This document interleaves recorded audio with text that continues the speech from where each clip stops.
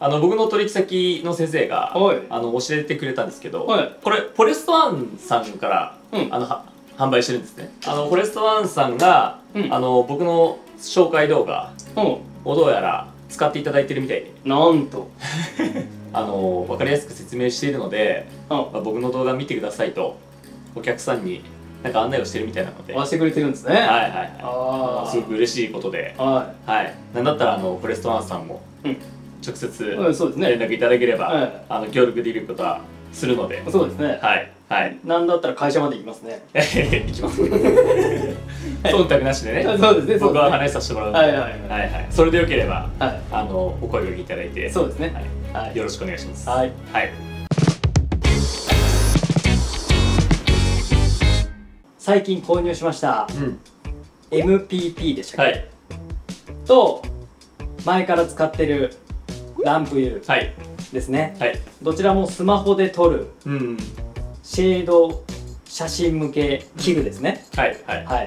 すごい今言葉作りましたね。まだ多分 MPP の方はそんなに使ってないと思うんですけど、はいはいはい。えーこれまで使ってみての使用感について、うん。えー聞いてみたいと思います、はい。えーちなみにランプ U ってどれぐらいから使ってるんですか？ランプ U はうん。どれぐらい使ってたかな？まあ4年かそれぐらいかな。だと思います。はいはい、おう。うん、それはもう発売当時から使ってるみたいな感じですか？そうですね。発売当初ぐらいから使ってると思います僕は。あそうなんですね。はいはいはい。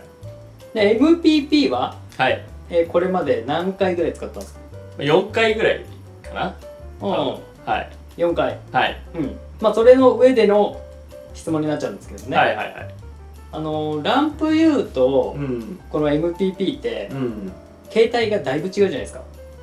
うん形がね。うん。はいはいはい。これ使ってみてうん。その差感じることありますか？そうですね。あります。まず、うん。ごめんなさいこの MPP の方あるじゃないですかこの、はいはいはい。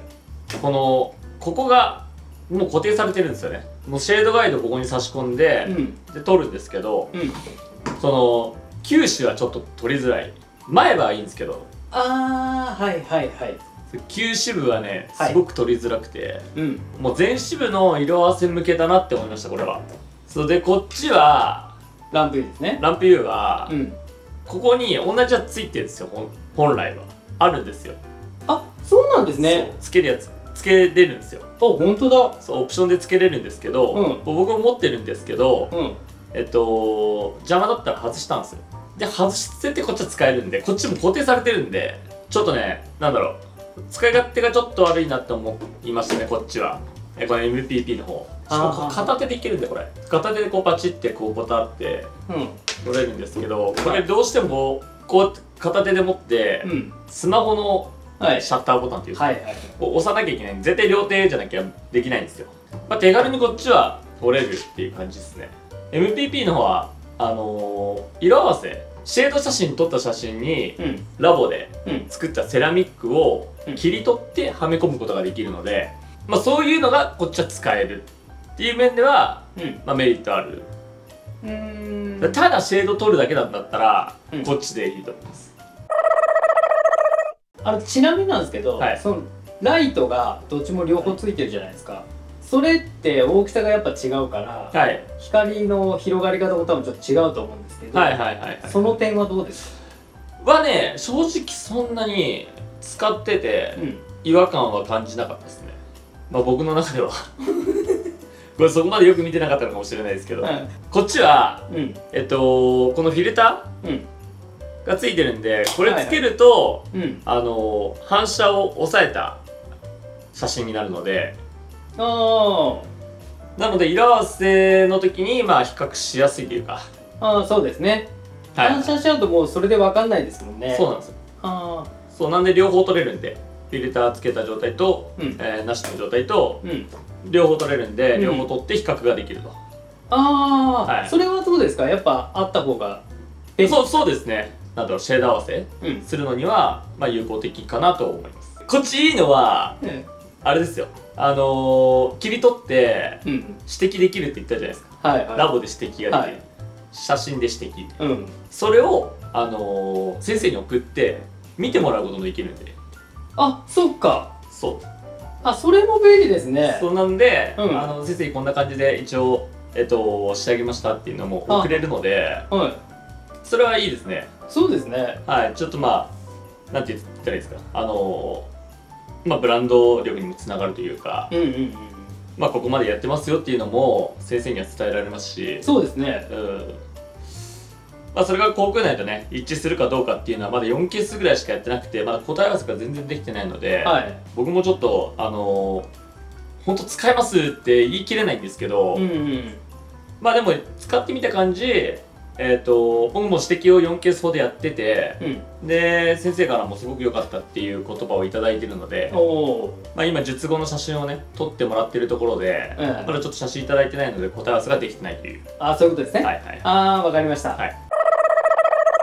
違うと言ったら真ん中が外れるか外れないかとうん。片手でできるか片手でできないかとそうですね。はいあとあれですよね。パソコンで比較ができるかできないかそうですところですね、はい。うん今上がったことを全部ひっくるめてですよ。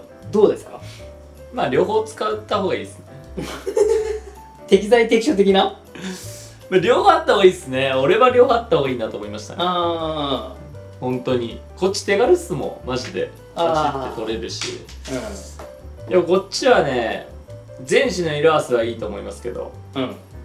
うんうん球紙取りづらいっすね。本当に。ですね。うん。で球紙ですごい色合わせするってそうそうないのでうん。本当にシビアなケースぐらいしかないと思うのでああそうですね。で球紙はこっちみたいな。全紙はこっちみたいな感じですね、はい。そういうことですね、はいはい。あはんはんはまあ、今後もねんうん。この MPP 使っていくので、はい。あの使っていって、はい。またデメリット、うん。メリット感じたことあれば、うん。あのその都度伝えていくので、うんうん。まあ、それも楽しみにしていただければと思います。そうですね。はいはい。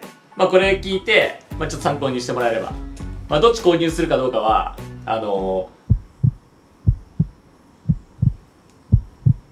お任せしますということではい。今日はこんな感じで終わりたいと思います。ありがとうございました。ありがとうございます